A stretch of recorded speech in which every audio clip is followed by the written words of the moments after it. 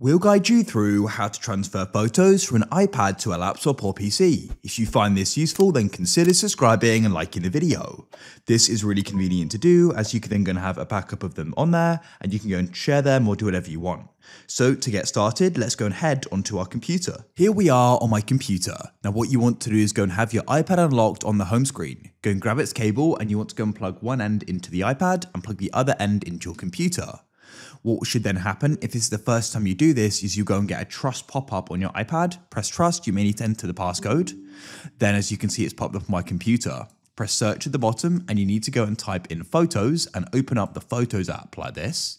Now you need to go and head to the top right and you can go and press import and you should go and see iPad. Click there and now the items are going to go and load. Be patient. When they've loaded, you can start selecting them in the top right. You can go and select new or all at the top as well. Then you can go and press the import button in the top right and choose where. In this case, I'll go and put them into my pictures. You could create a folder if you wish, press import, and they've now been transferred. If you found this useful, then consider subscribing and liking the video for more.